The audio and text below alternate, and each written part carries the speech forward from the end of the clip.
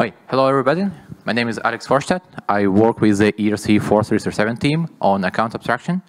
And uh, today I will talk to you about the new uh, proje uh, project that we are working on that's called native account abstraction. So when we talk about native account abstraction, there are three uh, main questions that we want to ask ourselves. One is what are we abstracting? The second one is what do we enshrine and make native? And the third one is like, why are we doing it? Uh, so let's dive into it. Uh, first question is, what even is an account for us when we're talking about it? So uh, account for us is an entity that represents a user on blockchain. We are talking specifically about currently externally owned accounts. So it represents a user with an address. The address has uh, like it's a 20 byte uh, string. Uh, it is known it the address that holds value is ether and tokens. And this address is controlled directly by uh, the private key, of, by ECDSA private key. Uh, this is the address that will be executing a transactions, which means calling the target contract with call data that is provided by the user. And this is also the address that will be charged for gas uh, during the transaction. The transaction uh, is paid by this account. And this is currently all part of the Ethereum protocol. It is encoded and enshrined as a protocol, this kind of accounts. Uh, so the next question is, what do we abstract away? So basically, we abstract all of these things away. And we, when we say abstract, it means that we allow contracts to change how these things are done. So you still have an address. Uh, this address is controlled by a smart contract there is a contract deployed to this address. And now this is a contract that holds tokens and uh, value and uh, does that. So this is not different from a multisig like Gnosis or Argent.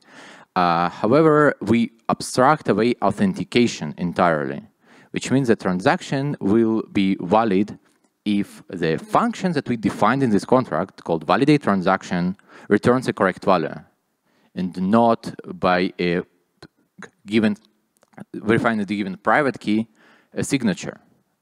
Uh, we also abstract the execution. Instead of like just pro user providing a target and the call data to invoke it, we give the, the data to the smart contract to decide what to do with it. And we also abstract the gas payment, meaning that uh, it doesn't have to be the contract that is the, an account who pays for gas. We allow other contracts to pay for this gas, other entities to pay for the gas of this transaction. Um, there are limitless, endless uh, possibilities with account abstraction, but I would like to give some examples that are not really possible with uh, externally owned accounts and they are. Like one, uh, authentication. We have one way to authenticate a transaction. And for some users, this the one we have, the, signing a transaction every time can be way too complex let's say there is a game that wants to introduce a gaming session. If uh, every action in this game is a transaction, you will be constantly clicking your MetaMask confirm, confirm, confirm.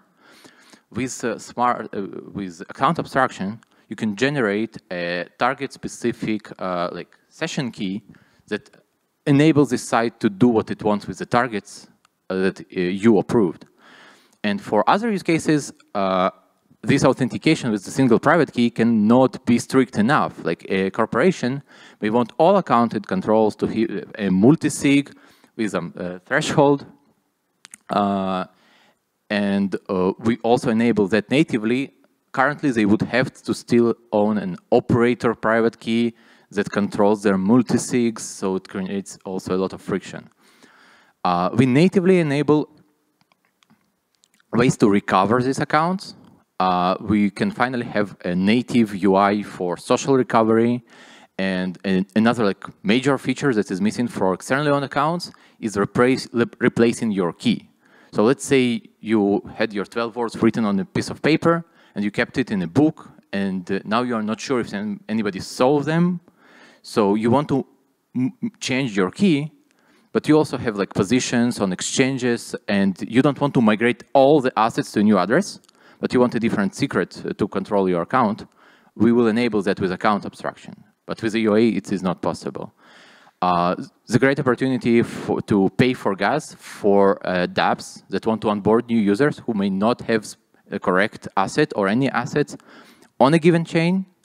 Uh, previously, in most cases, there was still a process of you need to get this, I don't know, Goerli optimism tokens to make a transaction on this chain.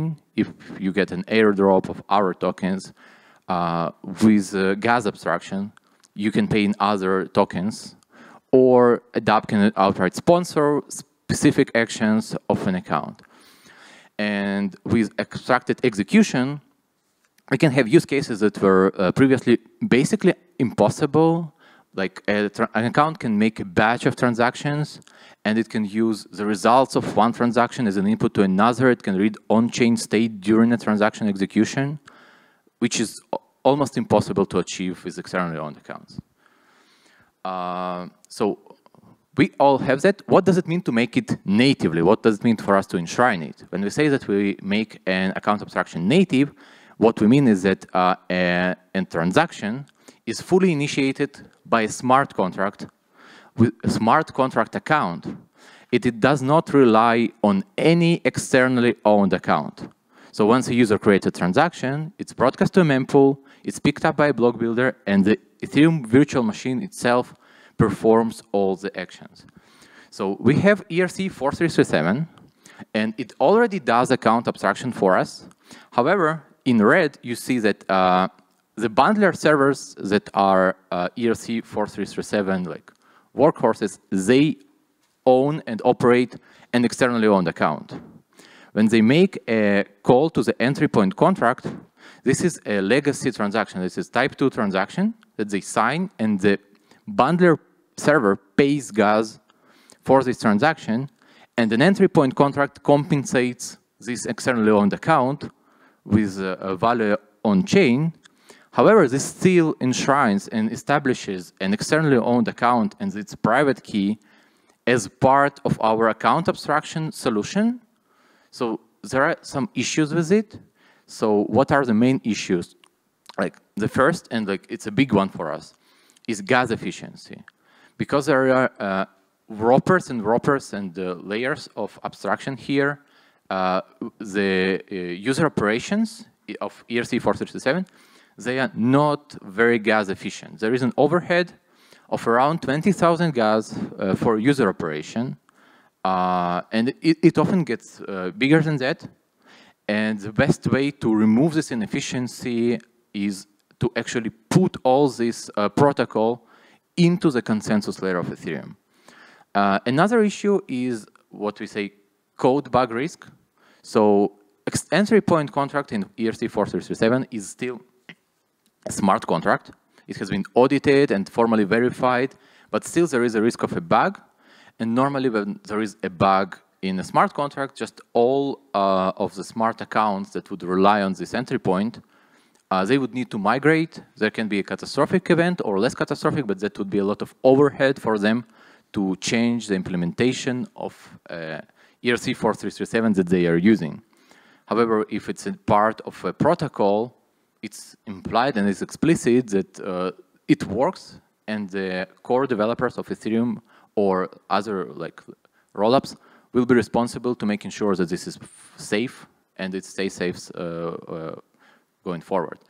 Uh, another thing is uh, some EVM opcodes don't work well in the context of ERC 4337. For example, TX origin returns the account that made the transaction in the first place. However, with ERC 4337, it would return an address of a bundler, an EOA that is not relevant to a transaction in any case. It just happens to be a server that created this abstracted uh, uh, transaction. Uh, another one, this is a growing concern, is that censorship resistance. Like as Ethereum is going towards a proposer-builder separation, uh, it becomes easier to censor transactions. And there are ways to uh, mediate it with uh, inclusion lists. Uh, however, they all target transactions. And what user operations do, they are bundled together in a single large blob transaction, uh, which is not transparent for the inclusion lists. So bundlers can censor individuals in user operations, and uh, we will not be able to provide the censorship resistance we want with the non-native account abstraction solution. And then the last one, but not least, some networks that are starting right now, they may decide to go without EOAs. Uh, there are, I think, already some networks that do that.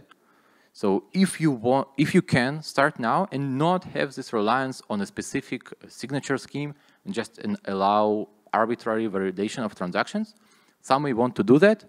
And it would not be possible if we would still require a server to sign transactions uh, that bundle your operations together. You can read uh, on this link an article from Vitalik uh, on this topic. Uh, I'll move on and I'll have it later. So what does uh, validation of a transaction looks like today? So this is a hypothetical code from the previous presentation also of what are the steps uh, that the transaction does when it's being validated. If, if it was written in Solidity, it's not. But if it was written in Solidity, this is more or less what it would uh, have looked like. Uh, it would uh, verify the transaction signature. It would uh, verify the account nonce. It would verify that account has enough balance to pay for the transaction that is happening. It would verify that the transaction has a sufficient base fee, and then it would increment in nonce and only after that the transaction proceeds. This is what current transactions, externally owned account transactions do uh, in Ethereum. Uh, so uh, can, can we do more? So in order to achieve account abstraction natively, the first thing that we do is we separate the code that is running inside the transaction into multiple uh, smaller frames. So the concept, the frame is, uh, you can think of it as, as a sub-transaction, a small transaction that is part of a bigger one, or a, a separate call to a function that is top level, like you have multiple main uh, functions, main entry points to your transaction. So on the top is how transactions work today. There is a validation that is happening in the protocol. And on the right, you have a single top-level execution frame of a, uh, of a transaction. So you have a target contract, and you call it with a value, with some call data, and you provide a gas price and gas limit to this call. And this is the top frame, and all other executions happen from there. For, for, for example, if you call transfer in the ERC20 token, so the call data would be a function of like transfer in this token. Uh, and as I said, Validation includes uh, signature, nonce, balance, gas limits, and gas fee payments. So when we go to abstracted transaction, uh, we divide uh, it into two big groups of frames. The first group is validation frames. Uh, in validation frames, uh, what we do is uh, we validate and increment nonce separately on-chain and a smart account. If need to be, we deploy an account so if this is the first transaction the user is doing, we deploy code at an address that he said he wants a code in. Uh, then we provide the details of this transaction to the account, uh, and the account has run some EVM Solidity code to decide if transaction is valid. And then if if the contract is provided, the contract that pays for gas is provided, and we call it a paymaster contract. We provide these uh, transaction details also to this contract, basically to ask him like, this is a transaction that is happening, are you willing to pay for it? So only if all four of these uh, calls uh, succeed, we proceed to include this transaction in the block. The transaction cannot be included in a block in any, if any of these steps fail. And uh, once they are complete and the interaction is inside the block, we actually perform the inner call that is the execution frame. And also it's a detail. We also allow the paymaster to do some operations after the uh, execution. So it is also considered to be an execution frame. But the main thing here is the uh, actual account execution function that is being called.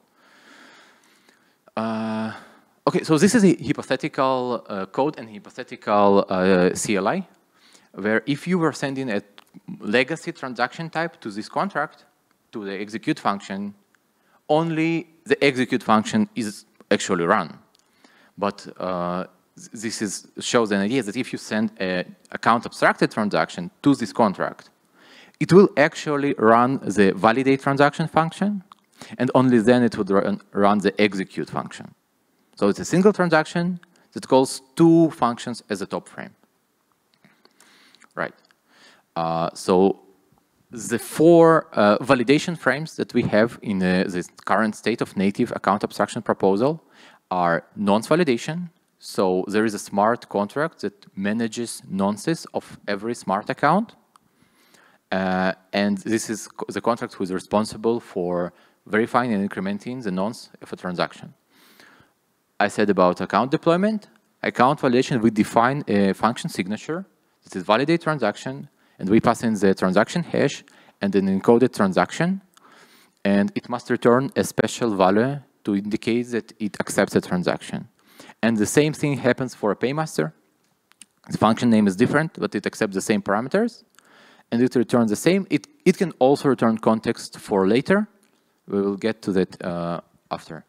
Uh, so next, uh, abstracting the execution frame, I talked about it briefly uh, instead of invoking the target contract directly, account uh, abstracted transactions provide this call data to the smart account. And this allows smart account to interpret the input and perform actions that it decides. Um, I don't want to say the word intents, but it can be something in that case that you tell your account like what you want to do and account can interpret it arbitrarily. Uh, next.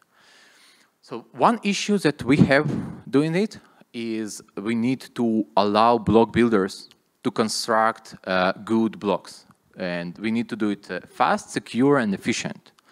Uh, so the validation function of externally owned account, which checks a signature and the nonce and all, they are all obviously isolated. Look at, you can look at them separately on different states and they cannot intervene with each other. This is just one account, it has its own nonce, and another one that has its own nonce and a signature. This is not necessarily the case with uh, account abstraction.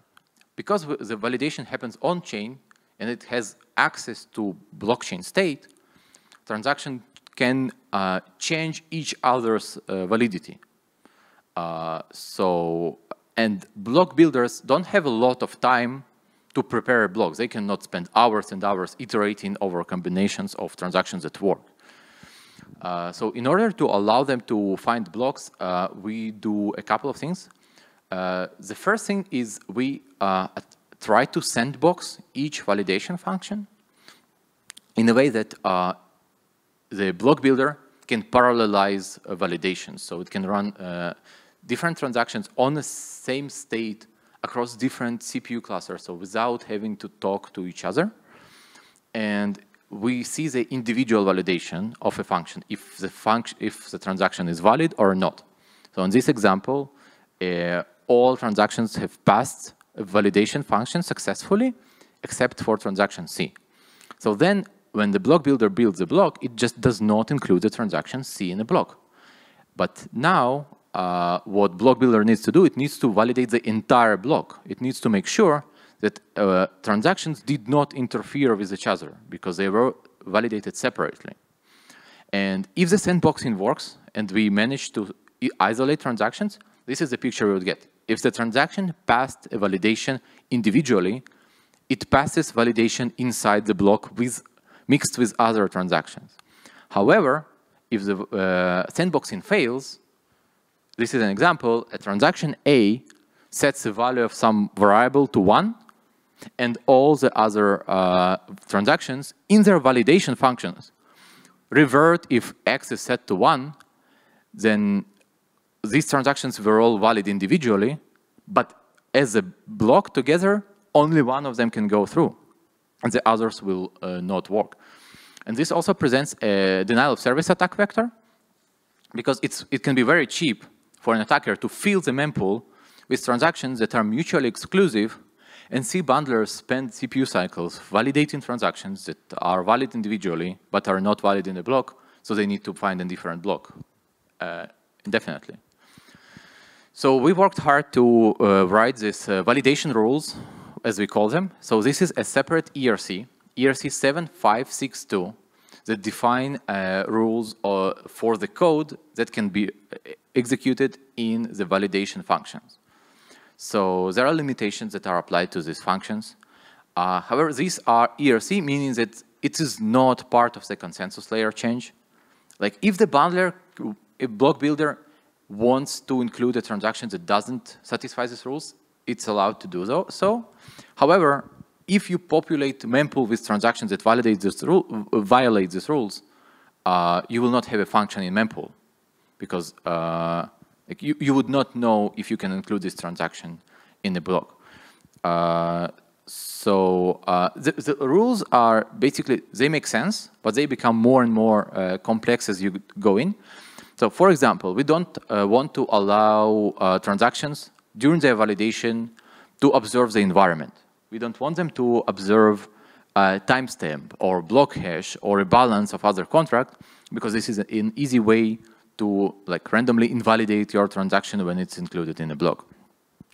We restrict uh, access from one contract uh, storage to another and uh, in many ways uh, we isolate the storage that is available to a validation function and there are also like things like limiting the number of transactions that uh, from the same entities that can be included in the same block so that there is no risk of, uh, for example, a privileged contract like a paymaster invalidating many transactions in your block. Uh, it's still a pull request. You uh, see the rules at the link here, but they are not very different from what we have. They actually will be the same as the rules applied in ERC 4337 account abstraction. Um, now, uh, there is a thing that the rules, the validation rules, are applied to the validation function. However, there is still the body of a transaction, the actual execution that can do what user said it to do. Like it can do arbitrary action. It is not feasible for us to limit the execution of a transaction. We cannot say that your transaction is only allowed to change your own storage and not allowed to change the storage of some other contract. So what can happen is that uh, while the validation function uh, did not violate its uh, constraints and its sandbox, the execution actually can do whatever it wants. Uh, so here we come to the third realization of what we need to do for account abstraction. We split the transaction into two parts. And the validation frames are not run together with execution. We put them in a separate place in a block, and the executions run uh, separately. So all the validations are executed first, and only then we start applying the execution functions. Uh, so if you are developing a smart contract, you need to be a wallet. You need to be aware that uh, between the validation of your function and the execution, then there can be a different code running. It's not necessary, uh, the transaction is not atomic per se. There is an atomic validation part and an atomic execution part. So here is the example. Uh, let's say we have three transactions, a green, a blue, and a yellow one. And uh, we want to isolate uh, access to the same state by validation frames. So what we do is we apply them in this order we apply the green transaction validation part, then the blue transaction validation part, then the yellow one, and then we start applying the changes that happen in the execution of a given transaction. Uh, right. So this is how that would look like in this hypothetical uh, CLI. If you were to call three transactions, uh, like three different wallets execute function, what you would see output is that you are inside the validation frame three times in a row, and then you are inside an execution frame three times in a row. They are not linearly applied. Um, right. So if that is clear, there are a few things that are not uh, per se a part of account abstraction, but they are extras that we added to this uh, uh, pro uh, improvement proposal based on the feedback we received from the community. One part of feedback uh, that we received is that uh, 64 bytes nonce are not enough for many applications, especially when we are talking about smart contract accounts that can be uh, used by groups of people. And if they are only using a sequential incremental integer nonce, uh, they can like step on each other's toes and like invalidate each other's transactions while they are being prepared and signed. So uh, smart contract account developers wanted to enable unique transaction nonces that are not sequential. So we decided to increase the nonce uh, parameter size to 256 bits. And we dedicate 192 bits to the key part, which can be arbitrary value.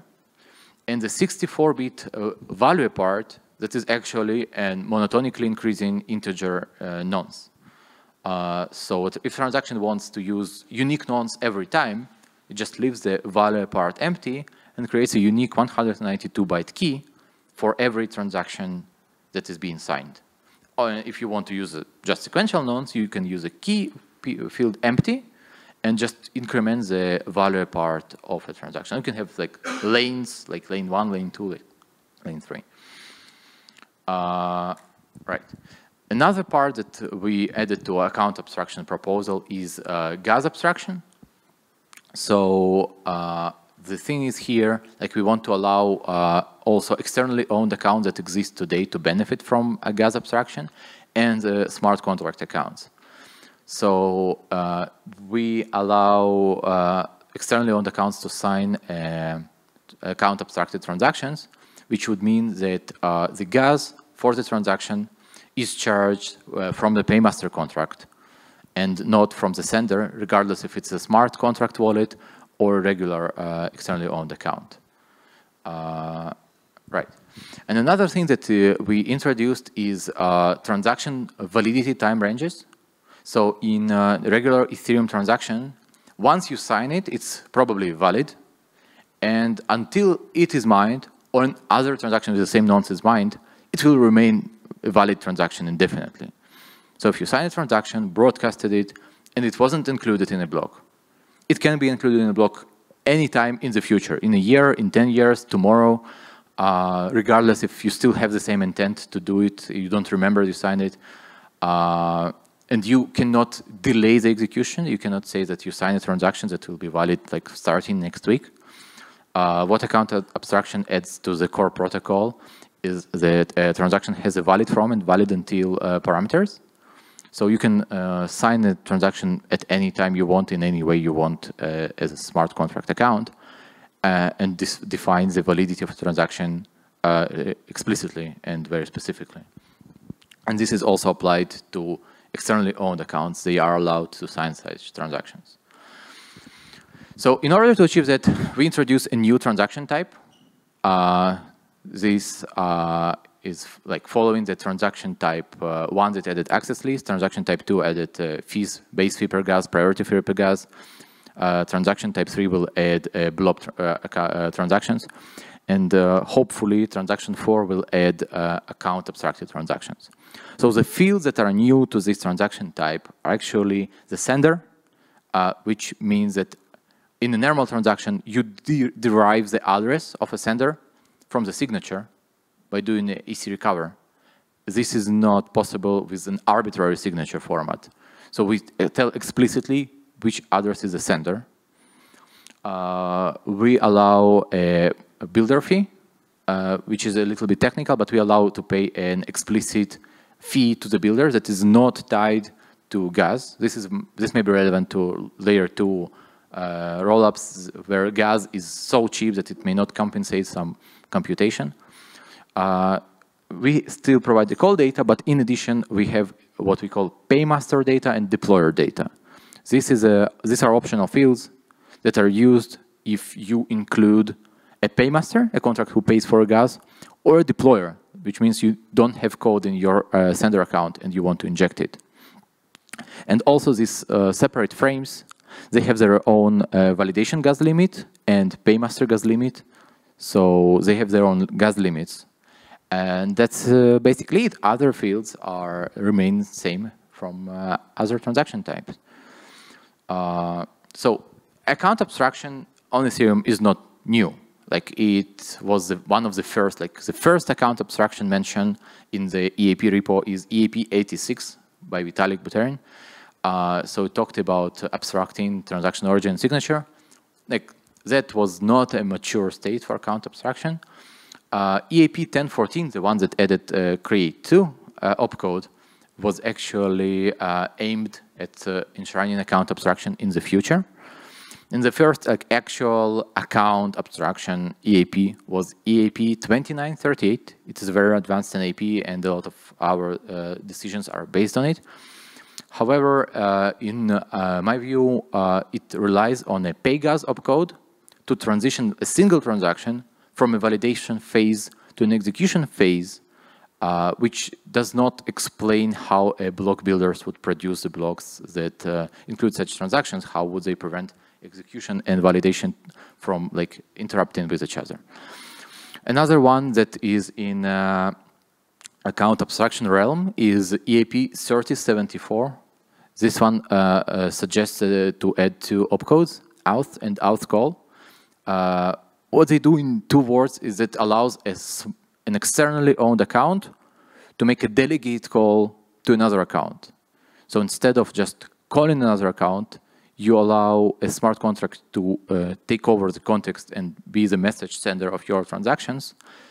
Uh, this have two issues in my opinion. One is it enshrines the ECDSA signature. Like this is an EOA that's controlled by ECDSA signature. And now it can sign an approval for another contract with this private key, but it still uh, has a not a regular account. And so we don't see it as an alternative to ERC 4337 or native account abstraction and we see it as solving another like additional problem to uh, what we are trying to solve, which is mostly a validity of a transaction. All right. So this is a very huge change, and it's a breaking everything change. Uh, so it's very complex, and it makes sense for us uh, to first aim it to uh, layer twos and rollups. So we will be introducing a rollup improvement proposal process. So instead of doing an Ethereum improvement proposal, uh, we are publishing this as a, an RIP, Rollup Improvement Proposal. So uh, we want to do that because um, side chains, in our opinion, and layer twos, they will all benefit from following the single uh, standard for native account abstraction instead of everyone trying to reinvent their own.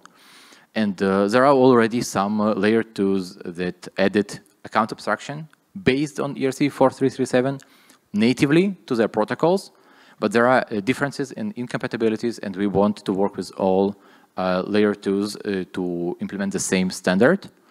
Uh, so this is, the repo already exists. You can go there. We are the first rollup improvement proposal, uh, and it will be properly announced uh, later. so there is a question, obvious question, like what does this RIP, what does this proposal mean for the broader like ERC 4337 eco ecosystem? So the first thing uh, that we must say is that uh, our aim is uh, to have a cross-compatibility between ERC 4337 and uh, native account abstraction. So uh, it will go both ways. So we will make sure that uh, if it works for one, it works for another in terms of contracts, paymasters, deployers, and any component. the, we expect that some networks will be quick to adopt native account abstraction. And we expect that others, especially Ethereum mainnet, will take more and more time to adopt this uh, breaking change. So there will be a lot, a lot of interoperability and uh, times when uh, uh it's support, what, like one solution works for one chain and another is using, used for other chains. Uh, once a chain approves uh, and adopts native account abstraction, we want to make sure that there is a clear and straightforward migration uh, path for contracts and other players in the ecosystem to move to native account abstraction. And there is a question of a role of a bundler. So right now with uh, ERC account abstraction, uh, bundlers need to maintain a special relationship with the block builder. Uh, they cannot broadcast their bundles to the mempool because they will be griefed. Uh, so this similar dynamics stays in action for native account abstraction.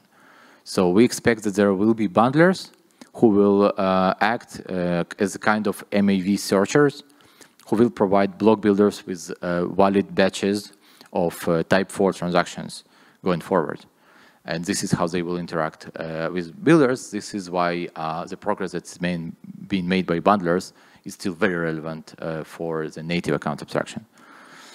Okay, so join us for uh, all the discussions, provide feedback, uh, track our development in our Discord, and these are the links.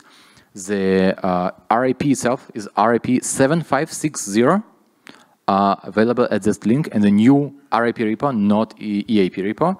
And please join our Discord to provide feedback and hear back from us. Any questions?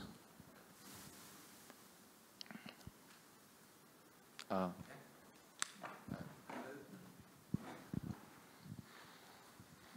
um, given the restrictions on access to the environment, like time in the validation in the validation phase to prevent um, some of the, the griefing issues, how did how did you do the uh, valid before, valid from and until? Right. So your uh, Solidity code is not allowed to access time but the, the EVM is allowed to access time. So instead of checking time yourself, you provide the time range to, to the machine. Like this is a return value of your validation function. It says that this transaction is valid and when it is valid. And, uh, and the EVM checks it. So you cannot do weird things like be valid on an even second, but you can be valid in a, in a time range.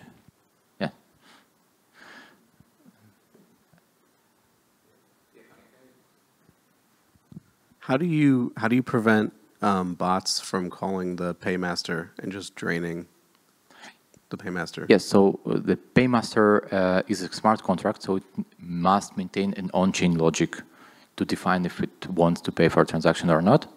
So it can maintain like per user counter, like some kind of uh, whitelist, blacklist. Uh, they can have uh, like uh, co-signature required for a transaction. So they can have a server that also approves the transaction. Uh, it's provided with some extra data. Uh, so uh, any on-chain mechanism that you can come up with, uh, or off-chain as well, uh, to uh, to prevent the like Sybil DOS attacks on a smart contract, basically works here. Ah, yeah, I want. I just wanted to add that uh, it's. A, I mean, people often think about uh, Paymaster only as something sponsoring the gas, but it's not always the case. It may be a bit misleading. For example, there is Token Paymaster. The, the Token Paymaster doesn't really sponsor anything. It's the user paying. It's just that the user is paying with a, uh, paying with an ERC20 token. So the Paymaster actually pre-charges the user the maximum amount, uh, the maximum amount that the transaction would cost in, let's say, USDC, and then uh, and, then uh, the contract pays for the ETH. But it's actually the user paying just with a different currency. Yeah, right.